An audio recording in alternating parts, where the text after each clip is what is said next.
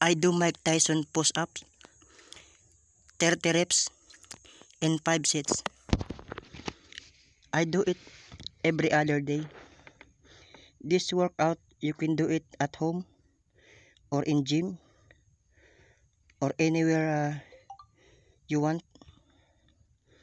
This Mike Tyson push-up benefits your tricep, shoulder, chest, abs, and legs.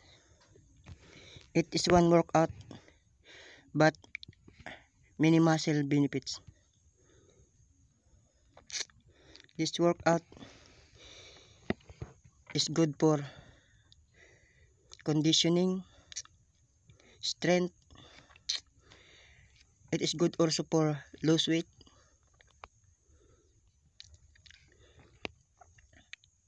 This workout is good for beginner. It is good also for athletes.